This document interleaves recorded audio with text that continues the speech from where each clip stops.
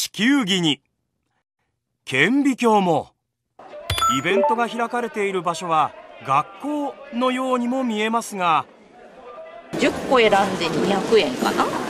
めちゃくちゃ安い。売られていたのは子どもたちの学習で使われてきた。学校になくてはならないものばかり。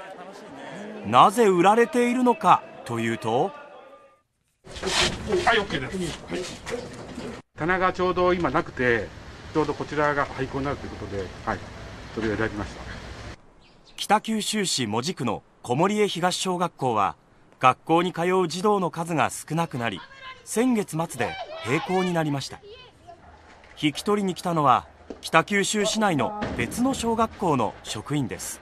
これねカードケースいただきますカードケース、もうなんか寂しい気もするんですけれどもまた新たなところで有効活用していただけるので喜んでいただければいいかなという気持ちです状態がいいものは他の学校に渡し引き取る学校がない場合使えるものでも廃棄処分となります。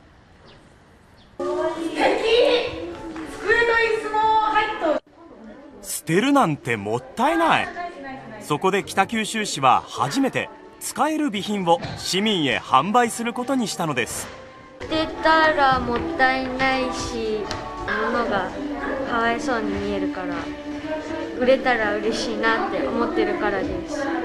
閉校から2週間。一旦は子どもたちの声が消えた体育館には学習に欠かせない品々が並びました。親しみ深い形の机と椅子は1個100円。顕微鏡はなんと200円。新しい学校に通うことになった児童が書いた看板も出迎え100人以上の客が訪れましたいては売れたものになります。取り置きができないのですいません。はいどうぞ。キープしてます。何に使うために？いや孫に。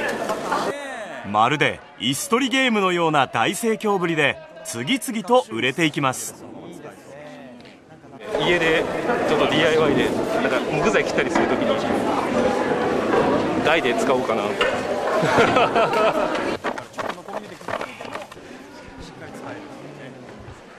多くて抽選になったので、はい、だから多分いっぱいあ強奪している。ちっちゃい子が強奪 欲しいの、うん、まあ申し込んどるよ。1個200円という破格のお値段がつけられた地球儀。抽選番号3番の方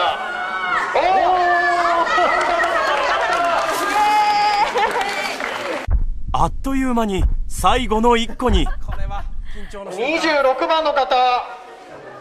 26番の方おめでとうございます。ごめんね。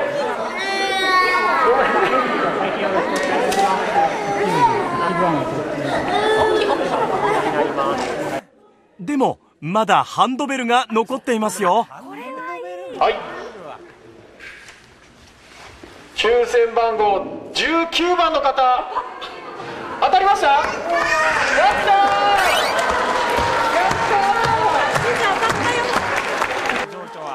た先ほどのご夫婦もお目当ての楽器が当たりました。手ぶらでは帰らなかったんでよかったです、はい、あっという間に売れていき予定より1時間早く終了楽器は特にあと児童机とかですね。どこの学校にあるものについては再利用が難しいものがあったのでこの販売会で買ったから大事に使おうというふうに思っていただけると私個人的にはすごく嬉しいなというふうに思います。